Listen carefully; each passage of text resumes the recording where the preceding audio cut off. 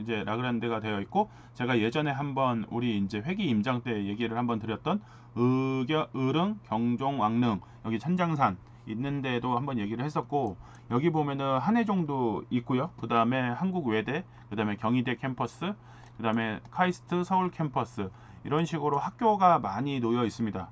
그리고 일부 사람들이 여기 학군이 안 좋다라고 얘기를 어, 하는데 그 학군이 안 좋다는 기준을 어느 기준으로 잡는 건지를 모르겠어요. 대치동 같이 강남 지역을 기준으로 해서 학군이 좋다 안 좋다 어, 얘기를 한다 그러면 이 동네 라그란데가 분양가가 상당히 높아야 되겠죠. 14억, 15억, 20, 뭐 18억 뭐 이런 식으로 높다 그러면 학군이 안 좋다 좋다 얘기를 할 수 있는데 이 동네에 여태까지의 개발이 안 된 정도 그런 정도의 상황 그리고 이게 좀 개발이 되고 했을 때 기준으로 봤었을 때 학군이 그렇게 엉망일까를 생각해 보면 그렇게 엉망은 아닐 것 같다. 여기에 사시는 분들의 소득 수준이나 상황, 상황을 고려했을 때는 학군이 그렇게 꽝은 아니다.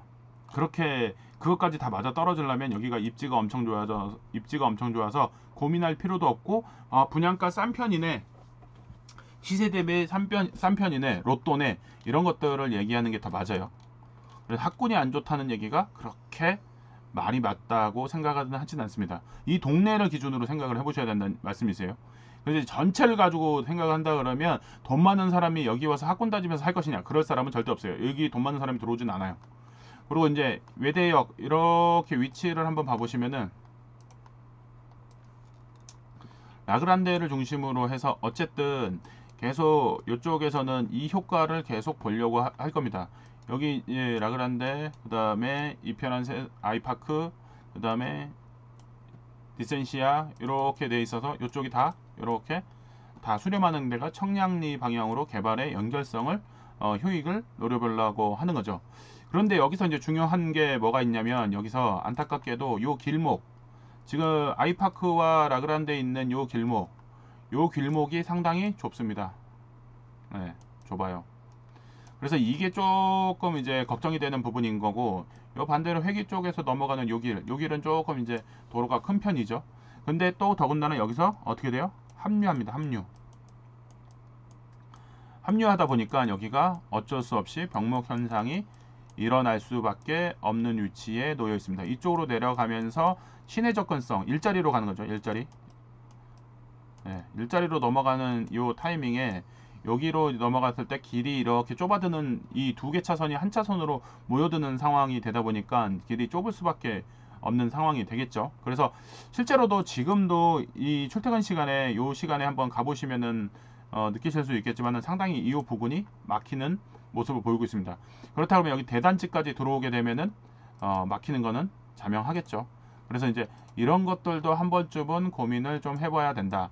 그렇게 따졌을 때 차차로 이동하는데 문제가 있다라고 봤었을 때 이렇게 봤더니 여기 보면은 외대역이랑 회기역이랑 이렇게 있는데 여기 전철을 탈라 그랬더니 이게 뭐야 1호선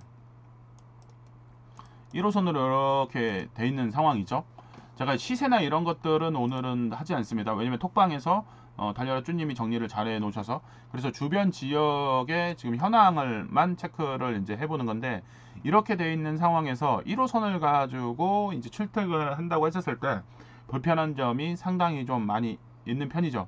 그래서 이런 부분들이 좀 안 좋은 부분이긴 하지만 이 주변이 대학교 캠퍼스가 있기 때문에 이 대학교 캠퍼스가 바로 또 공원 역할을 합니다. 라그랜드 바로 옆에가 어, 한국 외대가 붙어 있고 조금만 가면은 경희대가 붙어 있고 이쪽에 이제 캠퍼스가 넓기 때문에 여기서 공원에서 운동하시는 분도 상당히 좀 많은 편이고 이 주변 지역이 어, 오랫동안 사신 분들 입장에서는 그렇게 어, 삶의 만족도가 떨어지는 곳은 아, 아니라고 생각을 합니다. 그래서 이 지역에 대해서 실거주로서 이 가격대에 내 집 마련이 필요하시다고 하시는 분들은 여기가 나쁘지 않는 거고요. 근데 반대로 이게 투자다라고 생각을 하시는 분들은 이거에 대해서 좀 고민을 좀 해볼 필요가 있을 것 같다. 그래서 이런 부분들도 잘 생각을 해보시고 그리고 이 청량리 초등학교 아까 전에도 말씀을 드리긴 했는데 이 청량리 초등학교로 누가 배정이 된다고요? 2단지가 2단지가 배정이 되고요. 그리고 이쪽이 지금 요, 안 보이는데 어, 요, 요, 요 뒤에가 이제 잘렸네요. 여기 이제 이문 초등학교로 이제 1단지에 있는 인원들 어, 애들은 이쪽으로 이제 가겠는데 여기 또 이제 또 어, 호불호가 있는 또 혁신초 네. 이렇게 구성이 되어 있죠 혁신초로 네, 혁신초가 좋다 안 좋다 이제 호불호가 있기 때문에 음, 그렇게 돼 있어서 이 1장 1단이 지금 있는 상황이에요 그래서 청량리 초등학교까지 거리가 대략 1km 라이딩이 필요하죠 네. 그래서 이런 부분들에 대해서도 한번 어, 미리 사전에 참고하시고 서류 제출도 해보시고 그리고 이제 서류 제출을 하시면 제가 그 됐으면은 서류 제출을 하실 때 어, 떴다방이 붙어서 피 얼마 주겠다 라고 하는 얘기들에 대해서도 한 번은 아, 지금 시장 분위기가 라그란드에 대해서 시장이 어떻게 생각하고 있구나 이런 것도 한번은 생각을 해보시는 게 좋습니다. 떴다방 체크 떴다방은 체크를 꼭 하시는 게 좋습니다. 떴다방이 얼마 줄래? 라고 얘기하는 거에 대해서 한번 체크를 해보시는 게 도움이 될 것 같습니다. 네. 그래서 라그란드까지는 얘기를 좀 해봤습니다.